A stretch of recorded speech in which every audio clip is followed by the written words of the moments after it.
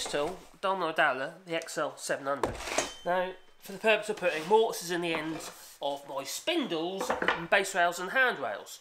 So basically, instead of using a slotted rail for this to sit into with all these spaces in between, I'll be using little domino dowels, little oval dowels like these. Now, I've made a little jig up here, as you can see. Oh yeah, don't forget to click like and subscribe. Um, a little jig. So all this does is I just slide that in there like so, really easy. I can then grab my, put it right around, grab my Festool domino. I've, I've set to the right depth, and I'm using the little pins on the ends for alignment. And all I've got to do is push across there like so, turn on.